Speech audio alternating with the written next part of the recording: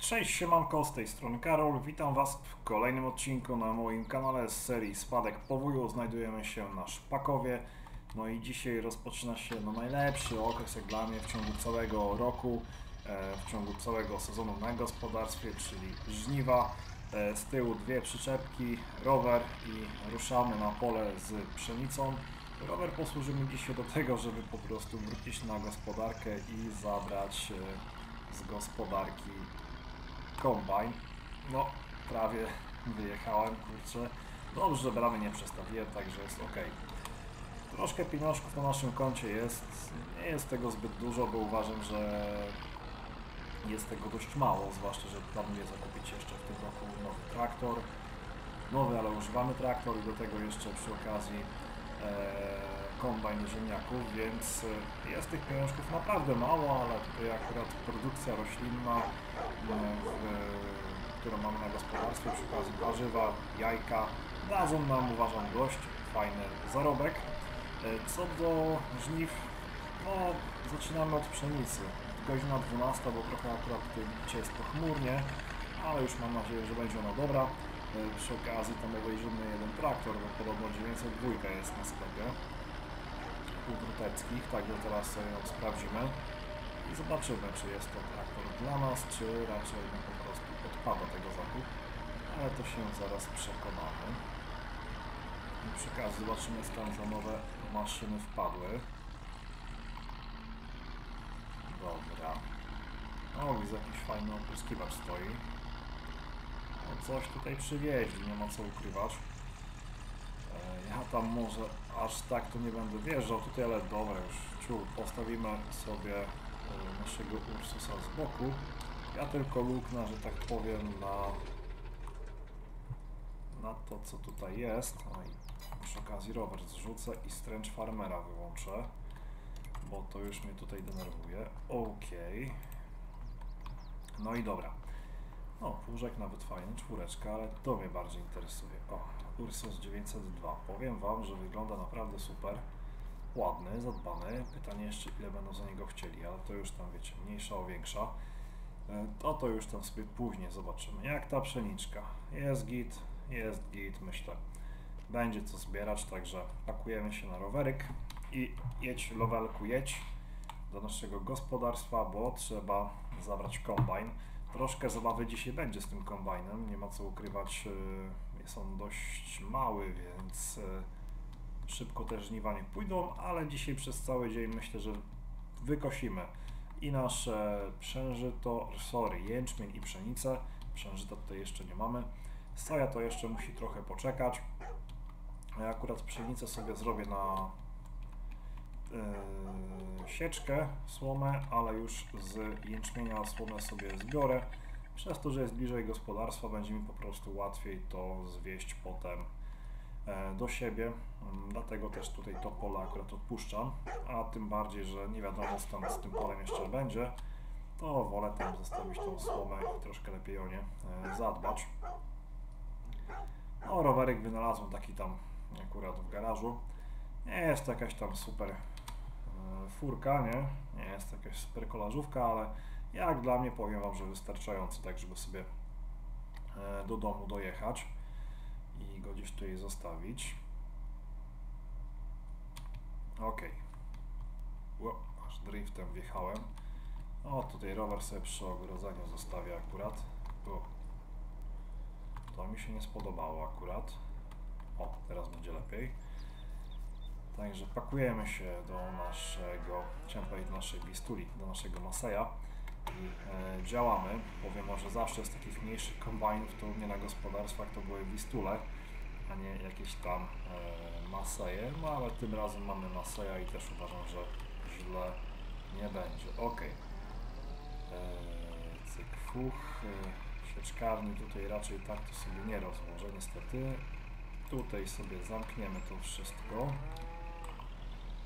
A my ruszamy. Tam sieczkarnię za pamięci sobie już rozłożymy, co by tam potem problemów nie było. Jedzie jakieś autko. Ok, wolne, wolne, to ruszamy. No No i pomalutku, bo pomalutku tylko 20 na godzinę pyrkamy sobie na nasze pole. Powiem Wam, że z tym kombajnem są jakieś plusy, nie? Bo jednak header ten 3 metrowy, nie trzeba go ściągać, poboczem sobie ładnie, pięknie jedziemy, no i dobrze jest. Tylko trochę ten brak y, tych lusterek mnie denerwuje, ale to już tam powiem że jest to mniejsza, większa. Tyle i tak tutaj wystarczy. Myślę, że jakoś tam dojedziemy bez większego problemu. I oby też bez większego problemu tutaj też żniwa. Eee, też bezproblemowo nam e, zlecą i tutaj nic, że tak powiem, złego się nie odpierdzieli. Kombajn przejrzałem, myślę, że cały, prawie że każde łożysko jest przejrzane. Wymieniłem tam jedno łożysko, chyba za dwa paski i kilka żyletek y, w kosie, więc ogólnie powinno być git, mam nadzieję. Na jeden dzień ten kombajn jest mi w tym roku potrzebny, przynajmniej póki co, potem drugi dzień to będzie soja. Także no mam nadzieję, że wszystko pójdzie zgodnie z planem, nie? I tutaj nic się nie odpierdzieli. Dobra, zaraz sobie tutaj na pobocze ładnie zjedziemy i weźmiemy się za koszenie. Już w sumie kierunek wrzucimy. Okej. Dobra. Jeszcze kawałek się może schowamy. Jedyneczka. No i rura. Tutaj pomalutku trzeba się wpierdzielić, ale o, ładnie wjechaliśmy. Taki mijak, damy sobie potem do kosza. No i działamy. Póki co muszę wam powiedzieć, kombajn daje sobie radę. Zboże leci z zbiornika. Nawet czyste. Wyjdziemy tylko zobaczymy jak to tam z tyłu wygląda. O, proszę bardzo, czy coś tutaj kurczę jest, czy nie ma. Nie no, w czyste myślę, że także tutaj bez większego problemu to powinno iść.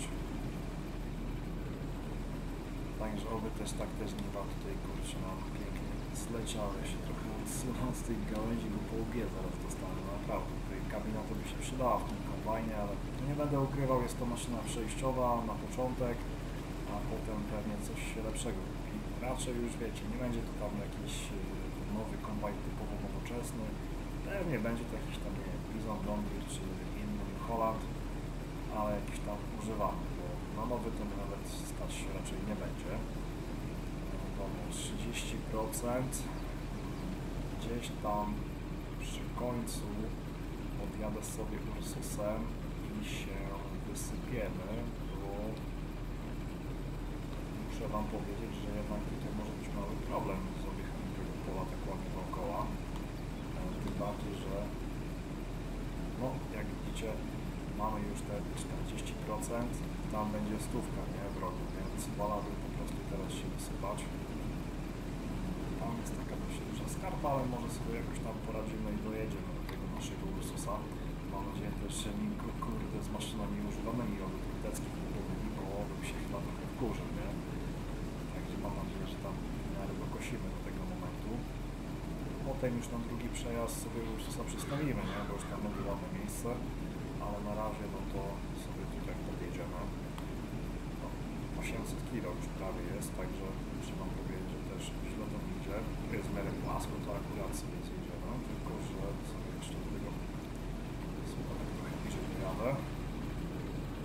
Okej, okay. pomalutku.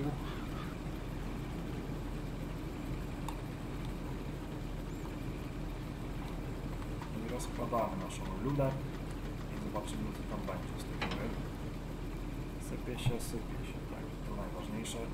Pytanie tylko najważniejsze też, czy kurczę zmieścimy wszystko na te nasze szczepy. Jak nie, to, to widzę, że u, u druteckich dwie stoją, to się pożyczą, by tylko były sprawne, nie? bo tam opłat to nie muszą mieć, ale muszą być sprawne. To tam wtedy sobie robotę dokończymy.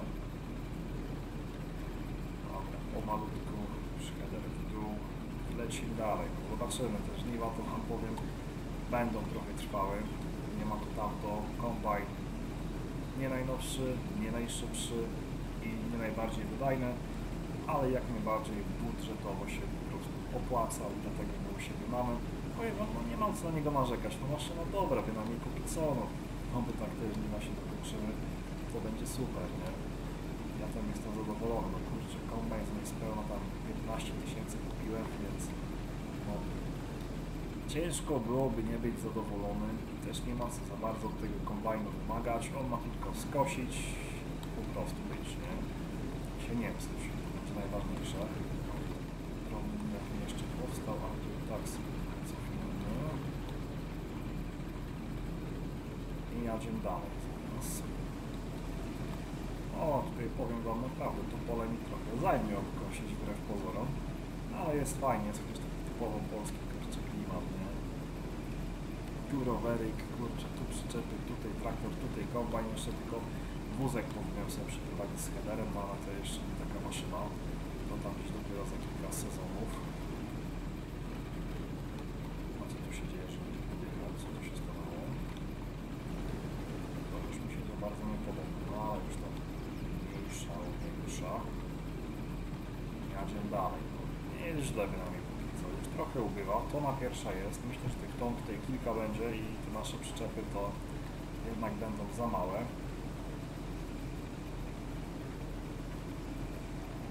Więc zobaczymy, jak to wyjdzie. No, ale bynajmniej póki co, tak jak patrzę, to naprawdę plony są dobre jak na tą dzierżawę. Opłacało się e, wydzierżawić tą działeczkę. Te 3000 zł, co my zapłaciliśmy, to te 3 tony na bank stąd wyciągniemy. No 4, bo trzeba będzie jeszcze przy okazji e, na nawozy spojrzeć. To, że będzie to dzierżawa, no to mniejsza, większa. Ale i tak muszę to powiedzieć, że naprawdę no nie jeździ. To się ładnie kurczę sypie. Tu ziarenka kurczę lecą, tu się mieli mieli. Także dobrze jest, naprawdę. Wiadomo, lepszy byłby jakiś tam Bizon albo Glass, no ale Massey Ferguson tego pokroju też nie jest naprawdę złym kombajnem. Dobra, no jedziemy sobie gdzieś tutaj do połowy.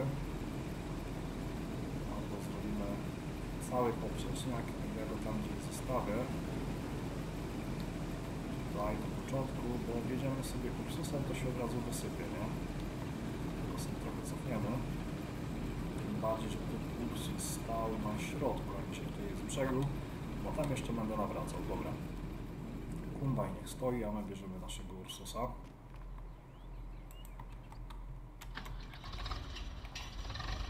O, ty pomału, jedyneczką. 24%. To już w tej chwili będę miał pół zbiornika w tym ciągniku.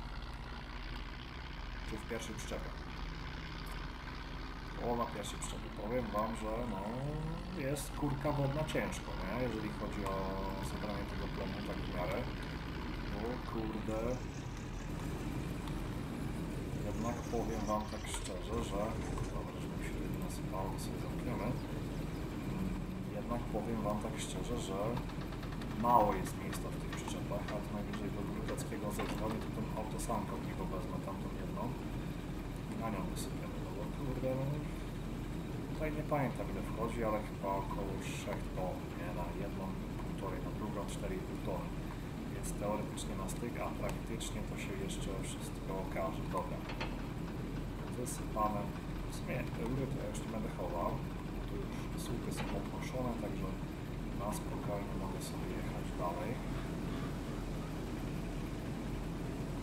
No powiem Wam, nie jest to taki fajny klimat, jeszcze tutaj jakaś 30 była obok i trasowała, to już będzie super. Upał jest, więc poniekąd odczuwam to wszystko, a jak robię miniaturkę, nie wiedzieć czemu, ale yy, podszedł mi taki zapach słowy, nie, nie wiem skąd to było, ale mówię, kurde, typowe żniwa, nie, naprawdę a od rana dzisiaj jest gorąco, także no, miałem, można powiedzieć, takie niewielkie odzwierciedlenie tego, co się tutaj dzieje, więc naprawdę było spoko. No i co, i sobie pomału tutaj działamy. Ja Wam muszę powiedzieć, że ten kombajn to naprawdę nie więcej jak dwa, może trzy sezony mnie przerobi, ja go wymieniam, nie? Się dorobimy na winogronach, to wierzcie mi, pierwsza maszyna, jaką chyba kupię, taka silnikowa oczywiście, yy, z winogron, to będzie kurczę kombajn. Potem wiadomo, jeszcze tu talerzówkę by wypadało kupić, ten agregat do siewnika, przyczepy, ale kurde, kombajn to no, mus praktycznie, nie, żeby go tutaj zakupić. Bo tym to my się tutaj zarobimy, nie, jak nam jeszcze z hektar dojdzie. W sumie na dobrą sprawę nawet nie wiem, ile tutaj mam e, areałowo tych działek. To sobie kurczę sprawdzę, tak z ciekawości. No, łąk teoretycznie mógłbym nie liczyć. Praktycznie myślę, że fajnie by też było to sobie tutaj gdzieś poogarniać. z 8, 9, 1, hektar 7, hektar 42, hektar 52, 2, 45 hektara. Teoretycznie mamy jeszcze kurka wolna zjechałem naszą maseję. Niby 2,5 hektara, no razy 4, no 10 hektarów już jest, także no kombajn powiem Wam, że odpowiedni, teoretycznie. No powiem Wam tak, no, no nie będę ukrywał, mi to też, ja lubię kosić, ok, wszystko rozumiem, ale jednak ten kombajn to by się przydał trochę lepszy. Pytanie, czy są póki? No. Walą te błędy cały czas niestety. Nadzieję, że jakoś tam dotrwamy do końca tego odcinka. No widzicie, tak z takich 56 stałych schodzi mi do 52, 3, no i troszkę to odczuwać już można. Ale jeszcze nie jest aż tak źle. Dobra. Będziemy sobie tak dookoła kosić, bo też nie ma co raz przy raz, bo jednak jak mam kabinę po tej stronie, to chyba jest mi nawet na rękę tak kosić poniekąd. No i dobra. I mamy zaraz tonę.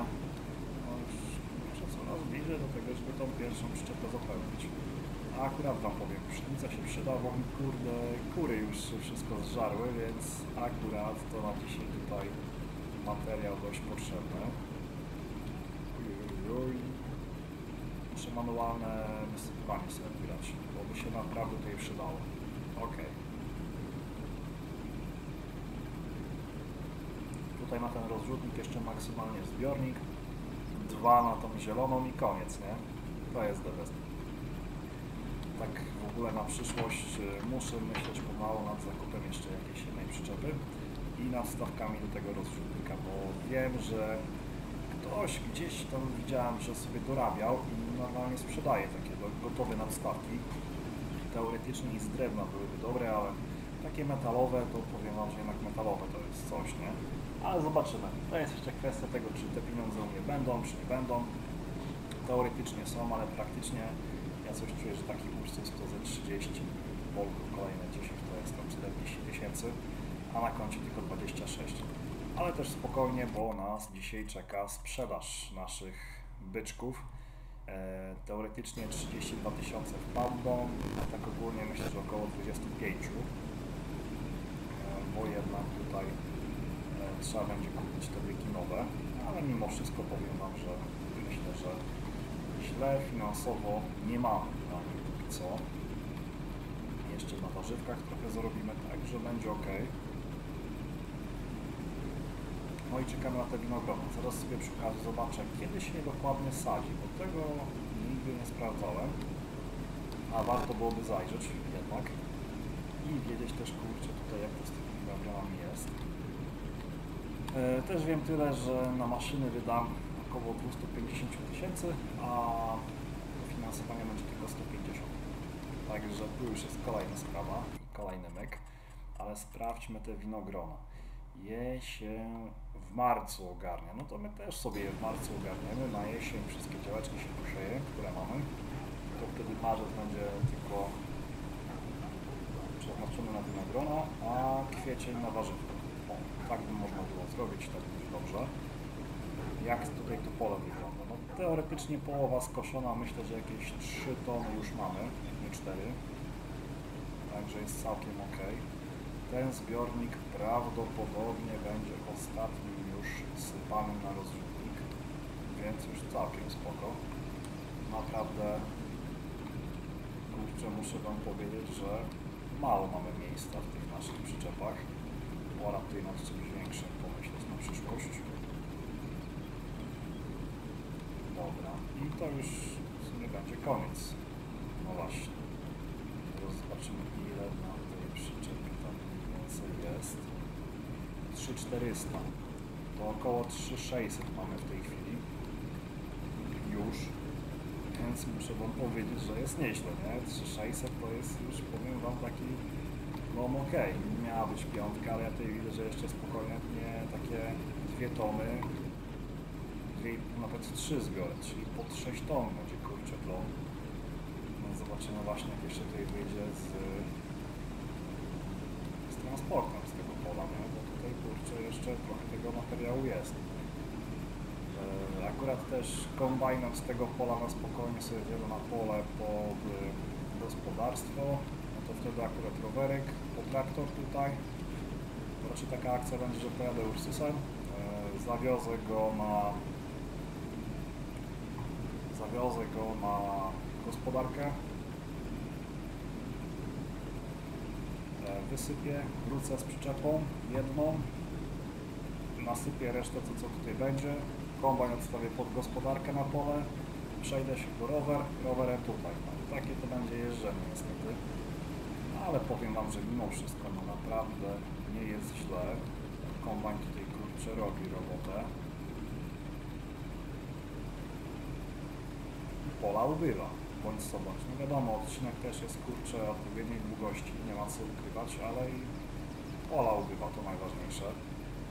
Także to mnie tutaj najbardziej cieszy. Patrzy ten nasz kurczę kombajn, trochę krzywo sypie słomę, ale to już jest myślę wybaczalne. Przy okazji maszyny używane sobie sprawdzę. Tutaj akurat no, ten maszt nieco jest taki w miarę ciekawy, ale to jeszcze też nie ma teraz maszyna. Z tym masztem to tam sobie jeszcze trochę poczekamy. No i spoko, teraz kolejna 750 kg będzie, więc jeszcze chyba jeden zbiornik i zestaw będzie pełen. Także naprawdę, kurczę, powiem Wam tutaj, ubywa tego, nie? Jest ok.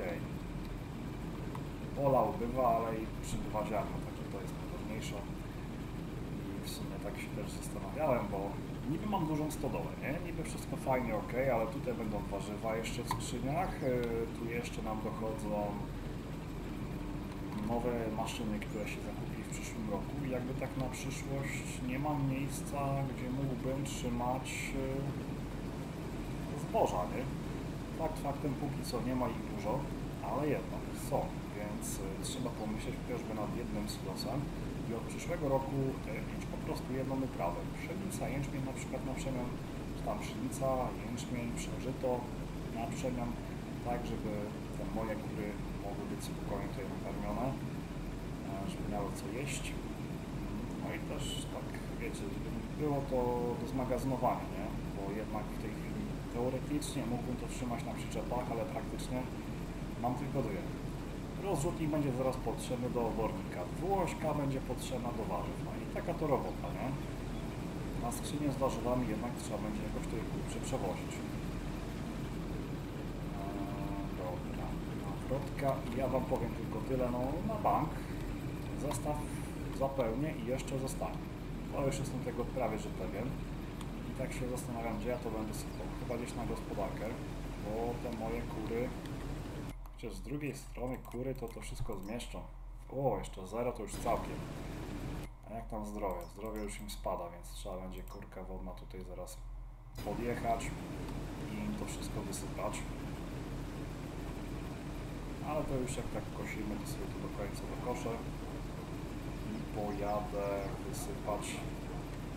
Pojadę kombajnem na drugie pole, przyjadę rowerem, rower na traktor i to będzie chyba najlepsze rozwiązanie, bo tak to Wam może być troszkę problematycznie.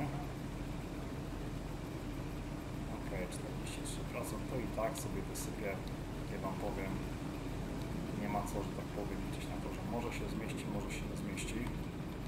Lepiej to wysypać i mieć przynajmniej spokój na te jeszcze dwa przyjazdy, skąd będą, że jednak kurczę wszystko zbierzemy. I powiem Wam, że chyba, no chyba się wszystko zmieści na tę naszą szczepkę. Jest taka możliwość, ale to jeszcze zobaczymy. Bo się mogę jeszcze przeliczyć, Wam powiem z tym wszystkim. Tak, niby tylko dwa przejazdy mi zostały, więc zobaczymy. Jednak się chyba przeliczyłem, szczerze, już się tego muszę przyznać i jednak kurczę, plon będzie dość bliski okolic 5 ton, e, więc na ten mój zestaw to wszystko spokojnie powinno wejść. No trochę szkoda, trochę nie szkoda, nie? bo jednak nie będzie aż tyle jeżdżenia, tam powiedzmy po 200 czy tam 300 kg, tylko jednak cały pełen zestaw pojedzie, kombajn sobie już na spokojnie przestawię i nie będzie już takiego jeżdżenia w tej weftach. Teraz się zastanawiam, tutaj chłopacy litewscy mają kurczę talerzówkę. Kupić raczej jej nie kupię. Ale za dobrą flachę bym się dogadał, to może bym sobie skryzował tutaj ścierniska we wrześniu. To sobie skryzował, bym e, wziął e, ten rozrzucił obornik, zaorał to, no i na jesień jeszcze sobie to uprawił. Hmm. Tak się kurczę zastanawiam, czy takiego czegoś nie zrobię. Naprawdę. Chyba do nich będę musiał zadzwonić, bo ten traktor to ja biorę na bank, nie? Ja dzisiaj sprzedaję opasy i traktor jest mój, nie? Także jutro jeszcze na gospodarstwo będziemy wracać i tą talerzówkę może bym sobie wynajął. Dogadam, czy tam się za czy tam za dwie. Tego jednego dnia sobie tutaj ta, te moje ścierniska potalerzuję. A jeszcze prasowanie słone nie czeka cholernie, ale coś tam się ogarnie. Myślę, że nie było aż tak źle. Coś tutaj się podziała. Tak, żeby to miało wszystko ręce i nogi. No i dobra, ostatni przejazd. Już widzę, że ten mój zestaw nie będzie zupełniony, ale tak mimo wszystko nie jest źle. Jeszcze sobie od razu sprawdzę, ile tutaj tego dobra zebraliśmy. Dobra, tutaj już to wyłączamy. I sprawdźmy, ile tego jest. O, 5, 400, 500, prawie 5,6 tony. Czyli w sumie gra się tutaj dużo nie pomyliła, nie? Bo plon jest taki uważam dobry. Nawet bardzo dobry. e, Bym rzekł. E, Jeszcze jak mi jęczmień odda podobny plon, to ja już będę wielce zadowolony, bo to moim kurom na prawie że rok starczy. A potem trzeba będzie nad czymś kombinować, żeby je tutaj nakarmić. E, dobra, jadę chyba dobrze. Tak, tak, dojadę do drogi, w lewo i prawie że do końca i jestem na swoim polu. Także zaraz zobaczymy jak to tam kurczę będzie. Ile tego jęczmienia teoretycznie ma dać. No tutaj mówię, gra się dużo nie pomyliła, więc y, było w miarę to wiarygodne, a zobaczymy jak będzie jeszcze z jęczmieniem. E, Bo też może być dość ciekawy, także zaraz to zobaczymy. Tutaj te pola mi się poniekąd podobają. Fajna sprawa, nie? Po lewo, pole, po prawo pole tylko droga jest takim przerywnikiem. Jedyne co tylko trzeba pamiętać, żeby drogi nie przeorać i, i będzie dobrze. Także poniekąd kurczę fajna sprawa.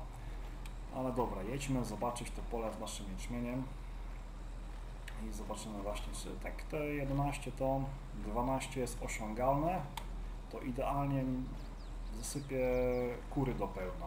Nawet jakby mi trochę zostało na dwuośce, to nie ma problemu, nie? bo dwuośka będzie dopiero potrzebna gdzieś tam w październiku, we wrześniu, w październiku, jak będą ziemniaki i tak dalej. Aczkolwiek to też będzie mi potrzebne, ale do skrzyni palet, więc tutaj, o jeszcze różnie może być, ok. Ja sobie tutaj u gospodarza z boczku postawię kombajn, niech on sobie tutaj stoi, dojrzy tylko to, mu- ten mój jęczmień, o, jęczmień też da tutaj, kurczę, takie 5300, także akurat muszę Wam powiedzieć, plon będzie super. Jak tu najszybciej do domu dojść? No, tędy trzeba będzie iść. Dookoła, bo tutaj jeszcze z gospodarzy nie ma co.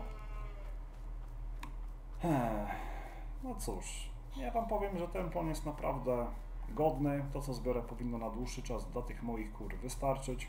Także jest fajnie. Wam dziękuję za oglądanie. Wbijajcie na moje pozostałe odcinki. Pod tym odcinkiem oczywiście proszę o łapencję w górę, komentarz motywujący do pracy i subskrypcję, by być na bieżąco. No i do kolejnego odcinka. Trzymajcie się, na razie, cześć.